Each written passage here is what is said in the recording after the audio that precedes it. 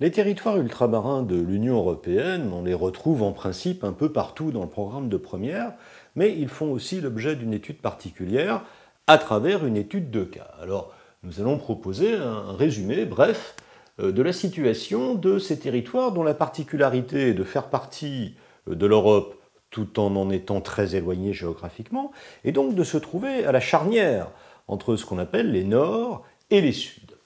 Alors évidemment, la première caractéristique de ces territoires, c'est que ce sont des périphéries. Et la première caractéristique de ces périphéries, c'est la discontinuité géographique, puisqu'on parle de territoires qui sont souvent lointains, donc diversement lointains. Alors, euh, ces territoires euh, appartiennent à certains États euh, européens, la France, le Royaume-Uni, l'Espagne, le Portugal, le Danemark, et sont comme des espèces de confettis d'empire, c'est-à-dire des restes de colonisation de territoires qui sont restés reliés à leur métropole, et qui sont donc diversement éloignés. les Canaries se trouvent à peu près à 1000 km de l'Espagne. Euh, les Antilles françaises, la Guadeloupe, à 6000 km de la métropole. La Nouvelle-Calédonie à 17 000 km de Paris. Donc le problème de l'éloignement est euh, le premier problème qui se pose euh, à propos de ces territoires qui par ailleurs sont de taille extrêmement différente, puisqu'on a l'immense Groenland qui représente 2 millions de kilomètres carrés, et à côté de cela, on a de minuscules îles dans le Pacifique qui sont d'ailleurs inhabitées, mais qui appartiennent euh, à l'Union européenne.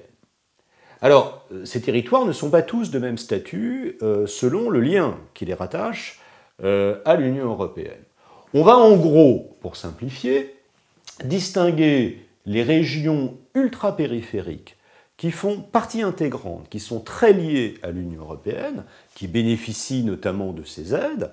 Euh, ben, et dans ces territoires, on a les départements et régions d'outre-mer euh, français, où on a également les îles Canaries, par exemple, espagnoles.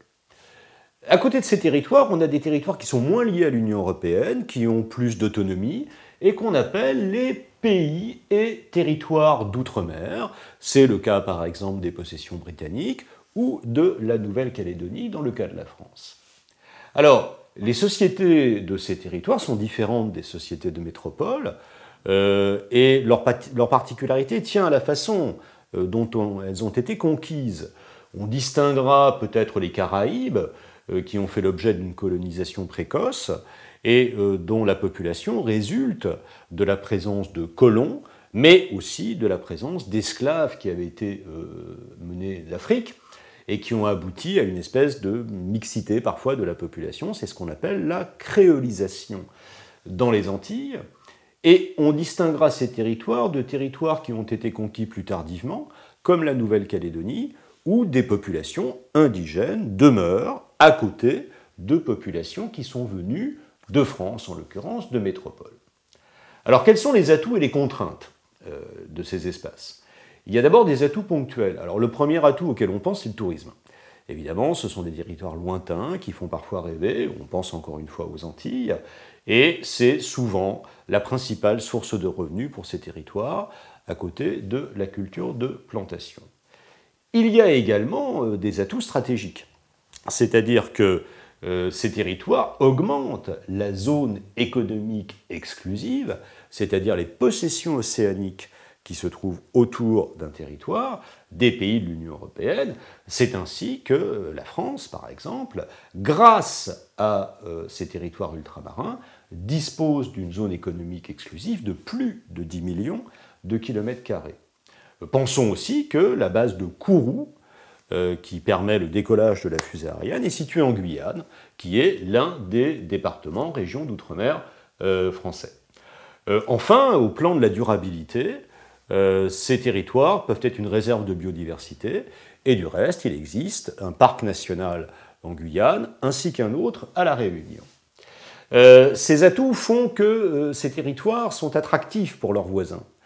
Euh, puisqu'il se situe dans une position intermédiaire entre le niveau de vie des métropoles et le niveau de vie de territoires qui appartiennent franchement au sud. Et on assiste à des migrations euh, de euh, ces populations moins riches vers les territoires d'outre-mer qui présentent un niveau de vie plus attractif. C'est le cas par exemple de la Guyane. Ces territoires connaissent en revanche des, difficultés. Euh, si leur revenu par habitant est supérieur à celui euh, de leurs voisins, il est inférieur à celui de la métropole. Euh, ce sont des économies qui sont insuffisamment diversifiées et qui bénéficient beaucoup des transferts d'argent que l'Union européenne leur accorde. Enfin, il faut préciser que ce sont des territoires qui connaissent des conditions géographiques plus difficiles. Euh, des séismes, euh, un volcanisme qui est encore actif, des typhons. Euh, l'insularité est aussi une forme d'isolement, et l'éloignement de la métropole peut être considéré également comme une difficulté. Alors, comment ces territoires sont-ils intégrés dans l'Union européenne?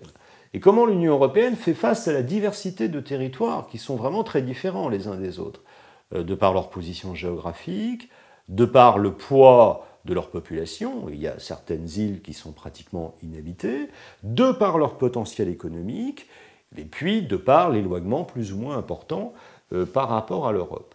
Alors, on constate une coopération qui est renforcée. Euh, c'est-à-dire que euh, les régions ultrapériphériques, que nous avons mentionnées tout à l'heure, bénéficient du Fonds européen de développement, qui sont des transferts financiers qui doivent aider à la construction d'infrastructures dans ces territoires. En ce qui concerne les euh, régions françaises, elles bénéficient de la même assistance que dans la métropole, c'est-à-dire des allocations familiales, du RSA, etc. Alors, évidemment, si ces territoires dépendent beaucoup de l'argent de l'Union européenne pour survivre, on va dénoncer ce qu'on appelle un petit peu le cercle vicieux de l'assistance, c'est-à-dire une tendance finalement à compter beaucoup sur l'Union européenne euh, pour s'en sortir économiquement euh, au détriment de euh, ses propres potentialités. Alors au final, on va se demander si ces territoires, c'est l'objet de la dernière sous-partie, sont finalement un avantage ou un inconvénient pour l'Europe. C'est assurément un avantage puisque ça donne à l'Union européenne un rayonnement géographique international, c'est un inconvénient parce que euh, ces territoires euh, coûtent relativement cher, représentent un poids parfois économique, même s'ils ont aussi des atouts, pour les pays d'Europe. Alors, les territoires ultramarins sont-ils des paradis de l'Europe? On a l'image idéale des récifs de corail, des plages des Caraïbes, et au plan touristique, ces territoires peuvent faire rêver. Euh, ce sont des paradis à un autre titre aussi. Si on pense aux possessions britanniques, les îles Vierges, les îles Caïmans, N'oublions pas que ces paradis sont aussi des paradis fiscaux et que donc les territoires ultramarins appartiennent également à ce qu'on appelle un peu les zones grises de la mondialisation.